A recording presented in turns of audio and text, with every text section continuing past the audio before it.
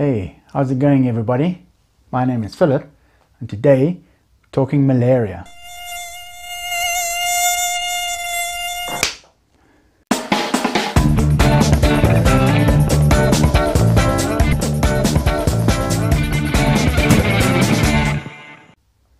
Welcome back to Travel Talk, the channel where we talk everything travel and I answer all your questions.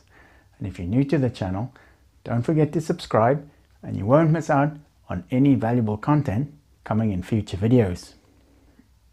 Like I said, we're talking about malaria today. I'm not going to give a big inside lecture on the parasite and the life cycle of the parasite.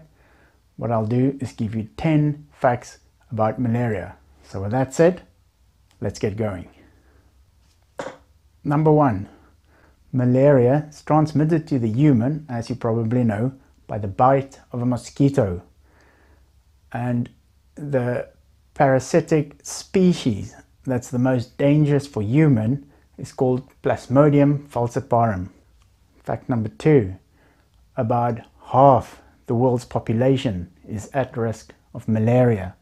In 2015 alone, there was an estimated 212 million cases of malaria and almost 430,000 deaths.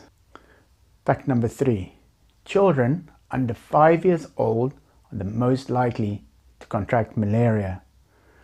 Over 70% of all malaria fatalities are of children under five years old. And in 2015, it was about 300,000 children died of malaria who was younger than five. Fact number four, malaria mortality rates are decreasing. This is due to an increase in preventative measures and malaria control.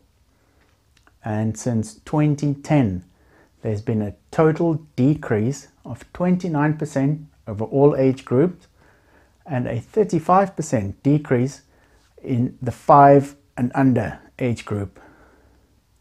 Fact number 5. Early diagnosis and early treatment saves lives. Fact number six, in certain areas there's an increase of drug-resistant malaria. This means that combination treatment is the key in preventing severe sickness and fatalities when treating malaria. Fact number seven, sleeping under a mosquito net decreases the risk of contracting malaria. And between 2010 2015, there's been an 80% increase of the use of mosquito nets in sub-Sahara Africa. Fact number 8. Indoor residual spraying is the most effective method to reduce malaria transmissions. Indoor spraying of insecticides kills the mosquito vectors and that is effective 3 to 6 months. Fact number 9. Pregnant women are particularly at risk of malaria. Malaria is also a cause of spontaneous abortion, stillbirth and premature deliveries. And finally, fact number 10. Malaria causes significant economic losses in high burden countries. Malaria can trap families and communities in a downward spiral of poverty.